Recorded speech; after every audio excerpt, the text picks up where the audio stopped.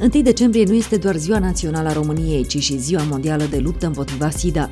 O campanie gratuită de depistare a infecției cu virusul HIV se desfășoară cu acest prilej în perioada 27-29 noiembrie în Baia Mare. Testarea are loc la sediul din strada Victoriei, numărul 132, etaj 1, laborator, între orele 7.30 și 11.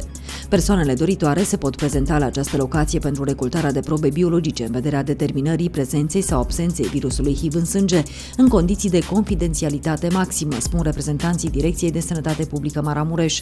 Campania are ca scop sensibilizarea opiniei publice asupra existenței acestei boli, precum și a consecințelor medicale și sociale care derivă din aceasta.